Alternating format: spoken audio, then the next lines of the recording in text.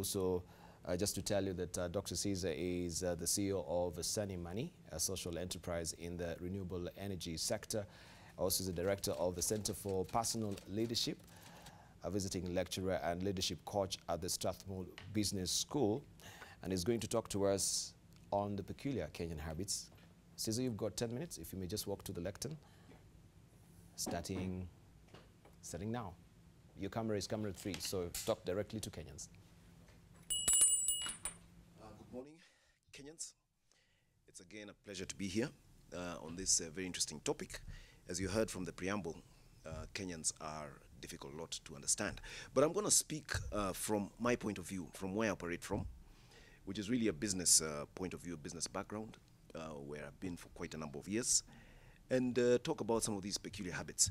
But in general, I'd just like to point out that um, I think there are many positive things with Kenyans, and if I mention some negative things, please bear with me, uh, because in general, overall, I think the average Kenyan is a very, very good person, somebody who I think uh, many visitors appreciate even when they come into this country. They, generally, they generally say that Kenyans are very friendly, Kenyans are very sociable, and I think that is a very positive thing. But there are some things that I've noticed which I think perhaps I'd like to mention in this um, short presentation. And this is uh, one of the things that I've, I've noticed, and this is from a business perspective where I come from, is one, the short memory of Kenyans. See, uh, in the business landscape in this country, we've been very unfortunate to have uh, various scandals, especially in public companies. And uh, this is something that has been of huge concern to me, uh, to my colleagues, uh, also in the Kenya Private Sector Alliance. And we've been trying to somehow fix this situation uh, where we can reduce the scandals and have trustworthiness in business leadership. But Kenyans have a very short memory. In the last possibly a couple of years and in the more recent past, we've had a number of companies having huge problems in the banking sector, in the non-banking sector. But the, the, the, the most recent ones were unfortunately in the banking sector. And um, huge losses have been suffered by Kenyans, where they've been locked out of their banks, uh, others where there've been huge destruction in the value of the price of shares, where a lot of Kenyans have invested. And these things happen, and Kenyans don't seem to have a memory for them. They seem to forget them. As a lecturer at the Strathmore Business School, we actually do case studies in other countries about uh, corporate scandals. And what you find is that the people who invest in companies there do not have a short memory. In fact, they want people to be held to account. But it seems in Kenya, there's this peculiar habit where things happen, there's huge destruction of value, there's huge loss of trust, there's huge uh, betrayal of trust. And we just forget. And we move on. And this then breeds a culture of uh, lack of accountability. And I go on to the second point about the peculiar habits we have. Unfortunately, a lot of these uh, situations arise because of what I call the MTTE mentality, which is my turn to eat. A peculiar habit in Kenya where people get positions and they assume it is now my turn to take advantage of my position. And in fact, having been a business leader myself, people find it strange that you are actually not taking advantage of your own position. So, a peculiar habit, a peculiar thing, very peculiar to this country, is a position is an opportunity to take advantage for personal gain, as opposed to an opportunity to serve and to take care of other people's assets, whatever the case may be. And this is a very peculiar thing which I find here in Kenya because I've actually looked at um, many other countries in this, this situation, and I think there are people who are out to serve. And there is something called a chain of trust, whereby when anybody is appointed to a position, they are appointed there because those perhaps who own the assets don't have the time or do not, uh, or there are too many to actually run that, that organization. So they appoint somebody to run it.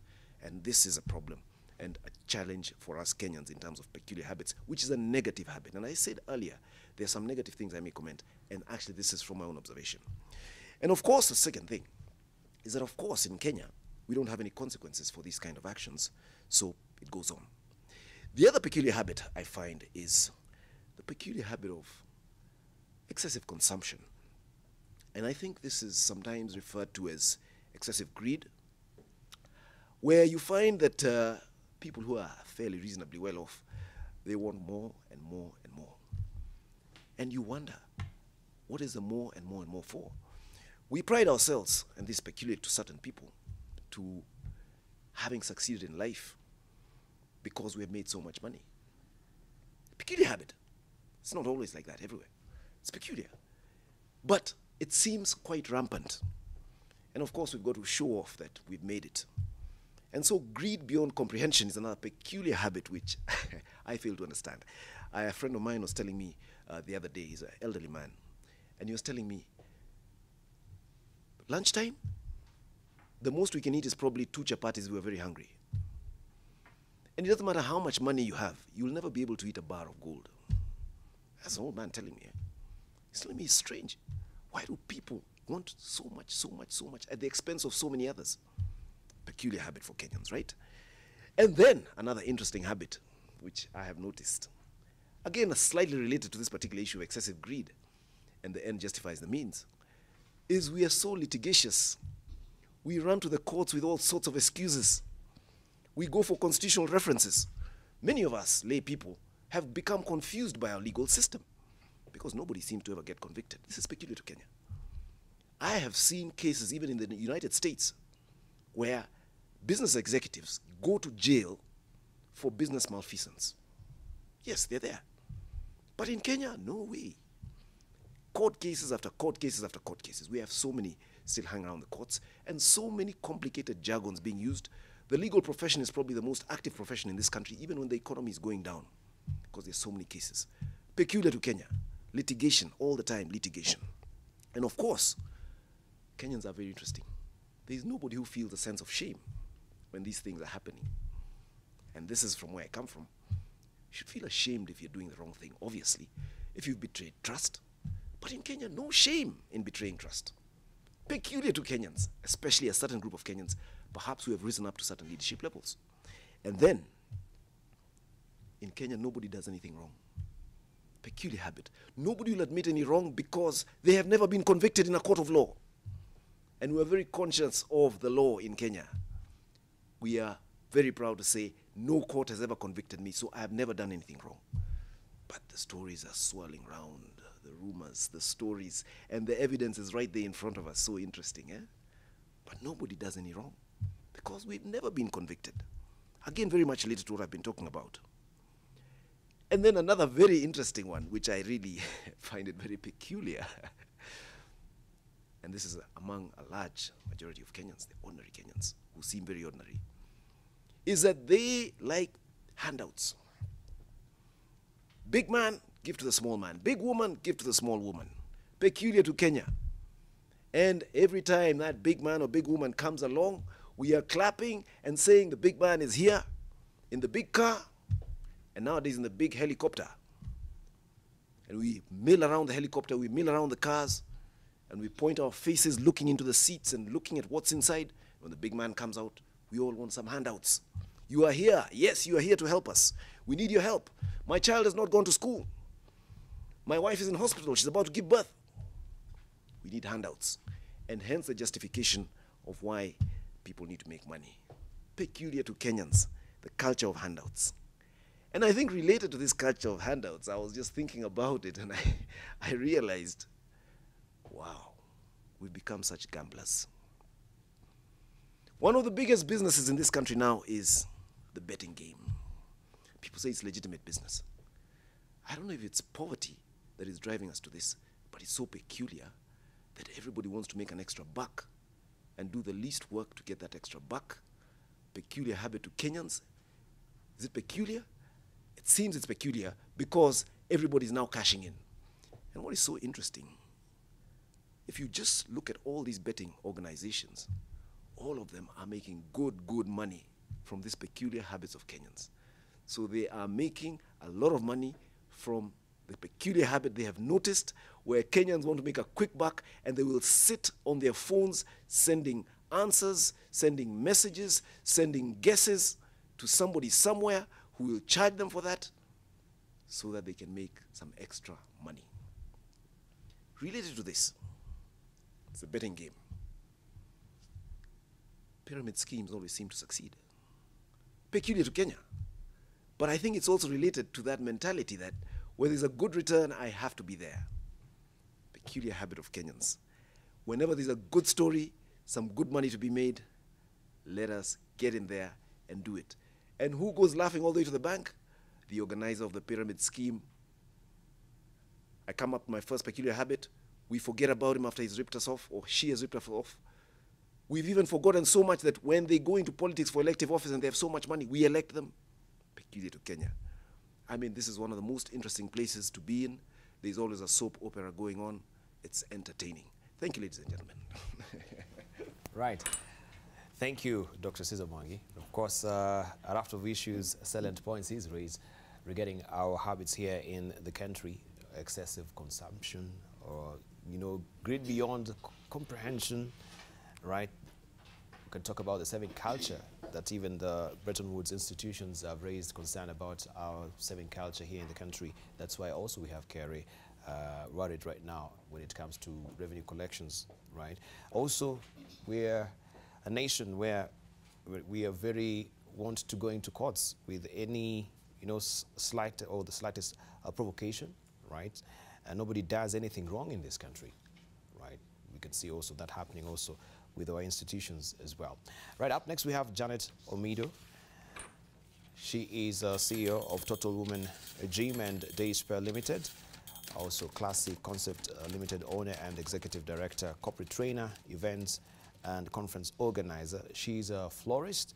She holds a Master of Business Administrations, or Administration, I should say, uh, from uh, University of Phoenix, Bachelor of Science in Hotel, Restaurant and Tourism, University of New Orleans. You've got 10 minutes, starting now, Janet. Thanks, Debarl. Good morning, Kenya. Good morning, everybody who is watching. Um, I'm excited to talk about this topic. I think it's way overdue. Thank you so much, Debarl, for introducing this topic to us today. Uh, there's so much we can talk about, but we have only 10 minutes that uh, we've been allocated to. I'll speak about things that I have personally encountered and things that I also maybe sometimes do. So, standing here, I'm not judging anyone. And again, I will follow my uh, very able uh, panel member here. If I say anything to offend you, kindly forgive me. I'll talk about tribalism because that is something that um, is really eating at us right now. Tribalism has become a big, big deal in this country and it's eating us away. One of the biggest places I encounter tribalism, I'm sure most of you do also, is in offices, especially government offices and public offices, where you walk in an office and the first thing you somebody looks at you is uh, start profiling. Uh, are you from this tribe or that tribe? And that will depend on what kind of uh, service you're going to get. I'm sure somebody already has profiled me by my last name being Omido. They figure she must be from Nyanza. Of course, you're wrong, but it doesn't matter. People should always be respected for who they are. Kenyans, we must appreciate one another for who we are. You get into an office, government office, and I'm sure you've all seen this, where you find people speaking in their vernacular, and they really do not care.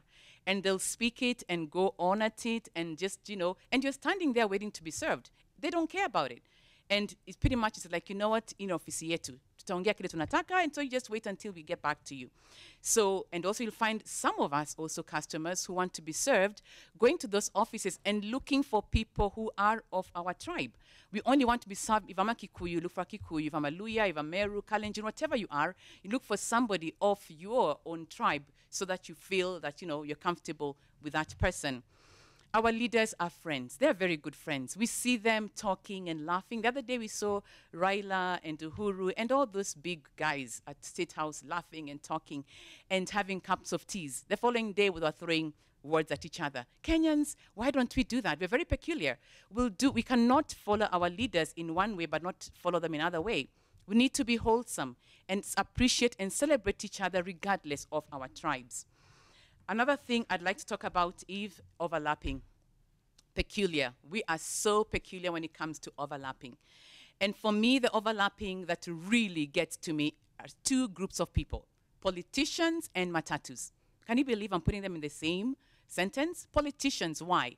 You could be going to work, whatever time it is, a politician comes around with his sirens and chase cars, and they're trying to push you off the road sincerely. Why does this politician think they have a right to the road more than me, who is a taxpayer? And I think I pay more than they do. And I think I'm the boss. I elected you. So why are you trying to push me off the road? So it's very peculiar that the people we've, we've uh, voted in are trying to push us off the road, trying to get to work, whereby we're also going to work to pay taxes that's going to pay them. That's very peculiar. And say my tunaenda kazi. What about us? We're also going to work. So the overlapping for me is very peculiar. And Kenyans, we become used to it that we just start copying what the others are doing. But we have to change our ways and pretty much do what is responsible, respecting one another, and just being courteous on the roads. Mothers and fathers, we do have housekeepers at home. We value them so much because they do a lot of work for us. But most of us look down on these people. Our behavior is pe- uh, uh, very peculiar in that some of us beat up our housekeepers. Some of us make sure our housekeepers have the last morsel of bread to eat. Some of us even make our housekeepers sleep for two hours a day. And yet, it is these people who make you who you are. It's these people who stay at home with your valuable children and take care of your children. Then we lock up our bedrooms with our jewelry and stuff, but we leave our most valuable children with them. So, what are we saying? Are our, our jewelries and stuff more valuable than our, than, uh, our children? So, when they come home and mistreat your kids and you're mistreating them, what really are you expecting? We need to leave that peculiar habit of looking down on people who we believe are not better than us. At the end of the day, in the eyes of God, that housekeeper and myself are all the same person. Me, who is standing here today, a corporate woman, and my housekeeper at home are very much similar because we're both mothers. We want to be loved, we want to be taken care of. So we need to leave that strange habit, the peculiar habit of looking down on people because of who they are. Loose talk we like to talk loosely, Kenyans. We talk so much about each other. We talk about who is doing what, who is who, who got married to who. We are concerned about other people's issues, so much so that sometimes we invo- involve children. You'll find a mother or a father out in the neighborhood, finds a little kid, mtoto habari yako, ule mtu mnaishi naye baba yako, na huyu ni dada yako. Na jana, mna, jana mama alikuja sangapi, baba alikuja sangapi, sincerely people. Stop it. Peculiar habits. Why are you involving our children in this kind of behavior? Mind your own business. Mulikula nini jana? Eh, na baba akasemaje? Then when you meet the mother, you ask her, hule mtoto niliona naye, kwani huyo baba yake ni ule ule pila ule mwingine na ule wa shule? You know, let's stop it, Kenyans. Peculiar habits that just don't add any value. And women, we like to PhD each one of us. And what I mean by PhD, you see me, and the first thing you want to do is pull her down. That's what you do. Mara moja, our, our own enemies. I'm sure somebody out there who knows me, amepigana mwingine simu haraka. Umemwona? And then do you know what about this? You don't say anything good about people. We always like to say the negative, always coming at the forefront. I'd like to say so much more, but I've just been given a warning. I'm about to uh, step out. But before I do, I'll talk about church. Holier than thou. Those of us who go to church and be a hallelujah, our hands are up there in the air saying hallelujah and praising God. But yet we are the same ones, the first, first ones to gossip. Many people have turned churches to gossip social areas where we just go to, to do nothing. We don't pray. We pray a little bit, but we're going to also just show off. We'll show off what we have. We'll talk about our husbands, our children. Nothing to really build us up. And politicians have taken that also. Politicians go to churches as stomping grounds. The clergy and the believers welcome them because they're going to get money in their coffers. They don't care if these politicians are corrupt. We are so peculiar because we look aside when we want things that are going to benefit us. Church is a place where God meets man. We have to remember that, people. We are, that's where we are peculiar. Another third, the last thing I'd like to talk about is corruption. We are all so much corrupt. So corrupt, you and I. The police stops us, the first thing you think is, hey, nitampatia pesa so that I can get out of this bind. And that is what our fabric tells us. You know, we are told, ukilipa kitu kidogo utatoka. Schools, when my child fails, I'll get him to Alliance, I'll get him to those big schools if I have the money. Corruption. You go to hospital, you're back in the line. I'm going to get in front because I have some little chums to get me up there. Offices too. I'll get a position even if I'm not educated because I have money. Corruption starts with us at home too, parents. We even bribe our kids when they're still so young. If you do well in school, I will give you ABCD. If you pass your grades, I'll do ABCD. That is corruption, my friends. Let us stop the peculiar uh, habit of saying Kenyans are corrupt, yet it starts with you and me. So I'd like to continue. Maybe Debarl will give us another five, two minutes later. But for now, let us all stop the peculiar habits that we have. You and I. Thank you. Thank you. Thank you, Janet. Right, uh, Mr. Politician, uh, today, right, if you may just avoid overlapping together with the matatus or cab crawling, right? That is another peculiar habit that uh, Janet she's mentioning here. Also, the way you treat your housekeepers, right? Uh, loose talks, we gossipers, PhD, as she puts it, right? Pulling other women or other yeah other ladies down, right? Don't pull her down, right? When you go to church, is it a place to worship and revere the Lord, or is a place where we get to gossip and you know to catch up? So we shall be talking about all these pet peeves. Remember, you can hit us on Twitter, right? We're talking about all these peculiar habits. Our Twitter handle is AM Live NTV, and we're asking you this morning uh, this particular question, right? What are some of the peculiar habits that we Kenyans do have that you know, that you can mention them, right? Do you mind dropping them on our Twitter handle, which is AM Live NTV, and also our Facebook profile name is AM Live NTV, and 20505 our SMS portal. We shall be sampling some of views much, much later in the course of the program. Up next, we have Simon Mbevi. He's an author, an executive, uh, also an executive director of Transform Nations. He's an author of several books on issues masculinity and leadership. His organization, Transform Nations, runs programs addressing masculinity challenges at various ages. Some of their programs include Man Enough for adults and Boys to Men a high school mentorship program. Simon is a lawyer by training, and in addition, he holds a master degree in leadership. He's a sought-after speaker locally and internationally on issues masculinity and leadership. Simon, you've got uh, 10 minutes, starting now. Thank you, Debarl. Uh, it's good to be here, and good morning, Kenya. As I talk about these peculiar habits, um, I see them in me. I see them around me all the time, and a lot has been said. And uh, I would just add five, around five C's that I like to talk about. Number one is um, the lack of caring, uh, not being caring towards others or towards each other. I find this strange that we're actually very caring people in some aspects. Uh, you will find that people could stop and help you carry a heavy load or something like that. Uh, or you could go to your neighbor and get some salt, uh, you know, it's still in some communities, and really get helped. But then we go to traffic and you see someone being robbed, and Kenyans just stand and watch and maybe say a prayer that God may help that person, but no one is coming across to help. I was very shocked. Uh, recently, I found an accident somewhere.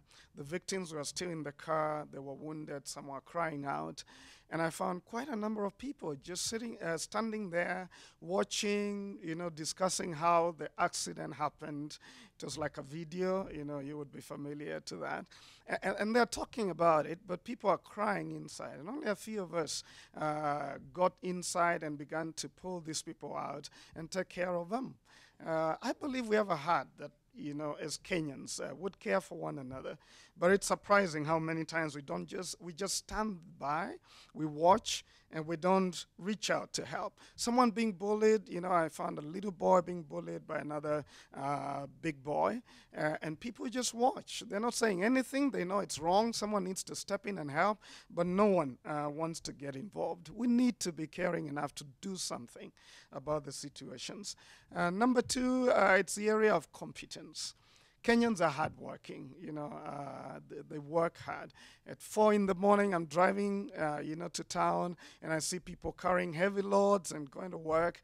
Uh, but then uh, I wonder sometimes when I go to an office and people are talking to each other, and I need a service, uh, and they're laughing about it. I mean, I'm there, I am not invisible, and I'm waiting to be served, but they're busy doing their own things. They don't just have a culture of, let's help you, let's get the job done city council workers, you know.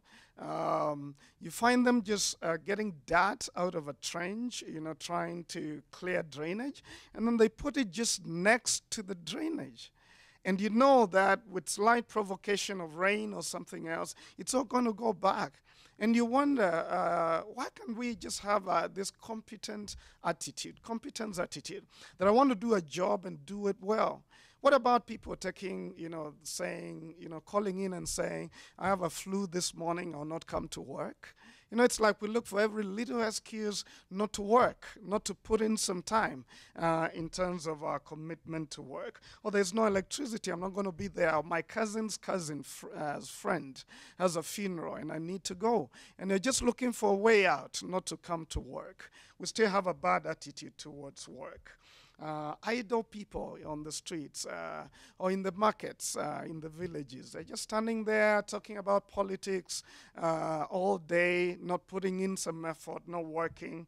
Uh, some very working, hard-working Kenyans, others who look for opportunities not to work. What about character, dishonesty? Kenyans will lie to you to, the, to your face uh, as in a Matatu once, and someone uh, called, uh, got a call. And the other, uh, on the other side, I think the person was asking, "Are you in town yet?" Uh, and this person said, "Eh, nimefika town." At that time, we were out in Mlolongo. And I wondered, why can't you just say the truth? And of course, a lot of people laughed in the Matatu because they saw themselves. This was a mirror. A lot of times we don't say the truth. We say, oh, I was held up in traffic. Really, and there was no traffic just dishonesty that eventually gets into corruption. That's how we get dishonest about money, uh, about relationships, and things like that. And we get to hurt each other because of not telling the truth. What about lost items that never get back to the owner?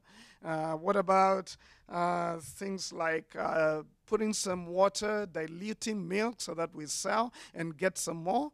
Uh, once I was buying, you know, this bucket of uh, potatoes, uh, and, I, and, and I paid for it, and this person took uh, a sack and poured, uh, you know, the potatoes into it. Uh, and then I noticed, I looked at the bucket, I looked at what I got, it wasn't uh, commensurate. Uh, and I said, wait a minute, let me see. And I looked into the bucket and it was stuffed quarter away with peppers. And I said, why do you do this? And he said, everyone does that. Uh, I've had, you know, such kind of incidents two, three times. And I began to talk to him and say, why don't you just tell me this bucket costs this much instead of trying to lie to me? So just uh, not being honest. A fourth one would be lack of compelling vision. Uh, it seems like we know what we want as a country, but the kind of leaders we elect, you just wonder do we know what picture we want of the kind of a Kenya uh, that we dream about? What about even in, uh, in personal terms, as a person? Do you have a picture of what you want? Then why do we compromise so easily on that picture by allowing people who have no clue how to get us to where we, we need to go uh, to be our leaders? I want to end with this one conciliatory. Lack of the ability just to build a bridge and reach out to the person on the other side. I'm in several uh, social media groupings.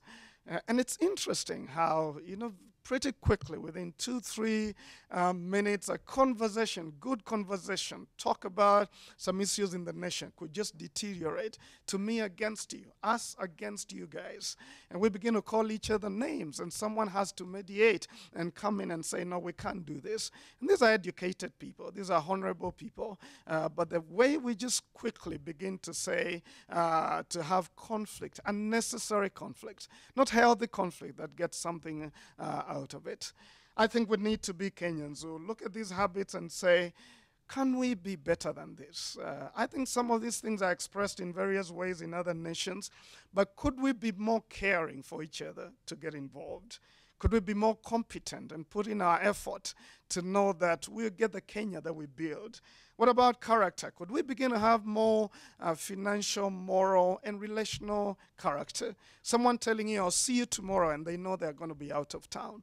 Could we be people keep their word? Once you give your word, you keep it. Could we have a clear vision and picture about ourselves, our families, our nation, and therefore know who to work with uh, together? And lastly, could we be people who reach out to each other and say, for the greater good, let's hold hands and get what we need together?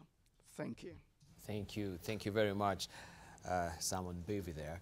Uh, very, very interesting uh, speech that you've given us, uh, giving us also the five C's. Uh, just if you may run through that particular grid, do you think you pass master, right? Do you think you have that character? Do you think that you're competent enough?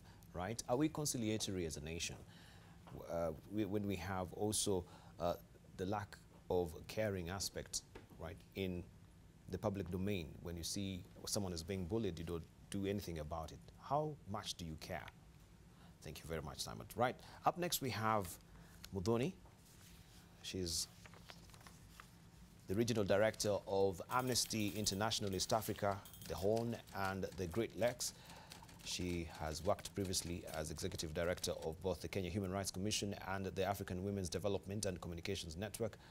She is uh, a PhD candidate in politics and international studies with the School of Oriental and African Studies in London. And she has also, she's doing her doctoral research focusing on the African Union and the notion of African solutions for African problems. Although you got 10 minutes, let me just also reset my my clock here, starting now. Okay, good morning, everyone. Um, first of all, I should say that these are not my own views. I canvassed my colleagues in the office yesterday and colleagues outside of the office, and it was surprising how fast and furious the answers came in. So I've got about six sets of peculiar habits. And the first one has to do with Kenyans loving the news. Um, I remember years ago being in Bondo and sort of watching this group of men with, um, you know, really some amazement. There was one newspaper between them. I think one of the school teachers in the group had brought it. Of course, they were all men. Women were running around cooking. Um, but each and every story was read, was discussed. They moved on. It was like a good two-hour, three-hour procedure. And I think in any sort of house that does have a television or bar that has a television, nine o'clock comes, it doesn't matter what's on, news gets switched on. We know every fact there is on corruption and human rights violations in this country, and a few more besides. We also like to elaborate um, from second, third, fourth hand sources. Um, but news is essentially seen as kind of a soap opera, a telenovela. It doesn't actually translate to action. We're informed, um, but we don't do anything about it. And I think in sort of wondering why that is, is it that we have an attention deficit? Is it that there are just too many dramas to follow in the country that we can't pay attention and sort of hold on to one to do something about it? Is it that we have a lack of platforms to act on the news because often it's um, pretty depressing? Or is it that we sort of individually, collectively feel powerless and sort of the games that politicians do, we don't take as being games that have anything to do with us? My second sort of point we pay an awful lot of tax, an awful lot of tax, but we don't really seem to care um, where the money goes or able to do anything about it. Um, if you look, I mean, returning to the conversation that we had briefly on the budget earlier, the KRA, we have to say, has done a great job on the collection side. And until Kenya went off on this massive borrowing um, spree um, in the last two years or so, we were nearly self-sufficient in terms of being able to raise recurrent expenditure of the government pretty much from tax.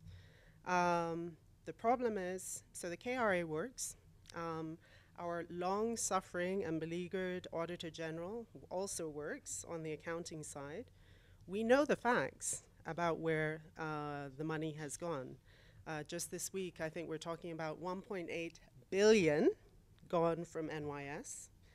And I think those of you who read The Economist saw the story this week um, that in terms of the debt that we've incurred for the standard gauge railway, we could have spent 16 billion.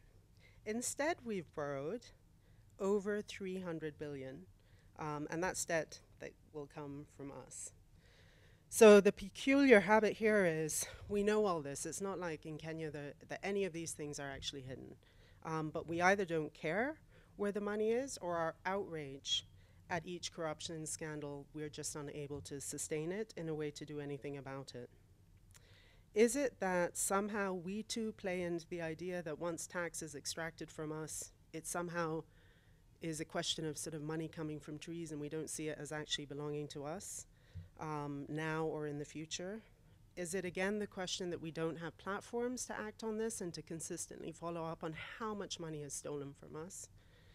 Is it our complete inability to hold Parliament and the executive to account? Again, do we just feel powerless? My third sort of set of or third peculiar habit, related to the one that I've just talked about, we know, we all know that most public personalities, especially civil servants, senior civil servants, especially politicians, and that whole range, new breed of Kenyans called entrepreneurs, are living large off our pocket. That is our money, that is our cash, that is our tax money. That missing tax or that debt that is sort of growing, growing by the day, looming larger over our head. And yet, we worship the wealthy and we expect conspicuous displays of consumption. It has confounded me, or it confounded me, when I realized Kamlesh Pattni's church had a congregation. I watched in sort of shock and horror. I was like, who are those people? Why are they there? I mean, it's crazy. And we have to ask ourselves how is it that suspected drug dealers, suspected murderers, and other suspected criminals ended up in parliament? It's completely shocking. How can a recent poll find that most young Kenyans believe it's necessary to become wealthy? And to become wealthy, you can do anything that you need to do to get there. Get wealthy by any means necessary. I think, again, in terms of trying to understand it, is it that we've become so acculturated to the complete lack of consequence for bad behavior, the lack of individual personal accountability, the lack of criminal accountability, that we've all sort of thrown our hands in the air and sort of said, if you can't beat them, join them. Again, or is it again a sort of symptom of powerlessness? My fourth peculiar habit Kenyans are actually quite pleasant as individuals one on one, but we turn into monsters when we can be anonymous or when we are in groups. And, you know, I think other people on the panel have spoken about this. There's not one of us, one on one, who wouldn't say, oh, you know, negative ethnicity is very, very bad. Um, but then you go online and you look at the absolutely shocking language the tossing around of ethnic stereotypes and resentments, the kind of deep venom and anger that people express, or on the streets, you know, ordinary people walking around, some poor guy is caught stealing a purse, and, you know, he can end up dead, mob justice. And, you know, where does this come from? Where does this sort of ethnic sort of hatement, hatred, this sort of, I, because I really feel that it's worse for my generation and younger generations. It's worse among the educated. It's worse among the diaspora than it is or than those attitudes were in my parents' generation among the less ed educated and those who've always been in Kenya all their lives. It's, it's a paradox, actually, that we expect that, you know, over time we're meant to get a bit better as a society, and I feel really as a society we're retrogressing. Um, and where does this sort of transformation from a pleasant individual to a monster come from? Is it that we lack sort of msimamo individually and so feel very unable to challenge anything um, as individuals and sort of the only way we can express how mad we are is when you know we find comfort in numbers. Again, I think it's another expression of powerlessness. Finally, or not finally. Um, then there's a whole other set of random peculiar um, habits. First of all, the Mheshimiwa syndrome, when honorable is actually a term that's only meant to be used in parliament when parliamentarians are addressing one another, or if we're using it outside parliament when we're actually referring to honorable behavior. Um, to quote John Githongo, we're prayerful thieves and hypocritical about it. So we follow the Constitution when it's convenient. Uh, for instance, you know, the Jubilants are insisting now we must follow the Constitution with respect to the IEBC. But we feel absolutely free to make unconstitutional laws and directives when it's not convenient. Um, for instance, these orders, all these completely unconstitutional orders being issued left, right, and center by the Ministry of Internal Security. So, and then we go to church or the mosque, not to repent for our bad behavior, but to actually justify the same in sort of speeches in a place that's meant to be people thinking about, you know, their direction in life and sort of higher powers and so on. Another peculiar habit, quote unquote, accept and move on. We have complete collective amnesia when we don't know what to do with a really bad situation and we, when we want just to get on with our little powerless lives. Um, another peculiar habit. We are one. I'm sure you've all seen that Twitter, Twitter hashtag, we are one. But we're one only when we're watching long distance running. Otherwise, we'll speak our own language, even when other people are around. No one can sustain a decent conversation in Swahili, including me. Um, we're horrible that way. Um, and then finally, the sort of belligerence that ha um, has grown, I think, in the public domain recently, this sort of attitude of mtadu. Um, we all hate corruption, except when we're begging for personal favors, but nobody, nobody expects consequences, and they throw that lack of expectation of consequence into our faces.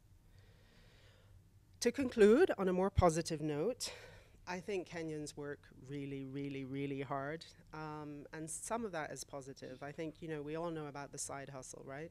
So those of us who are fortunate enough to have jobs, um, you know, they'll tell you what their sort of job is, and then I'm in business, or I'm a farmer. Everyone I know has a business or is farming.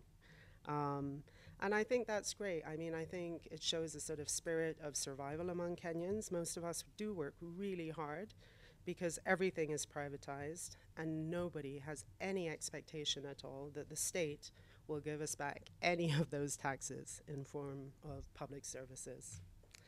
And last, we can laugh at it all.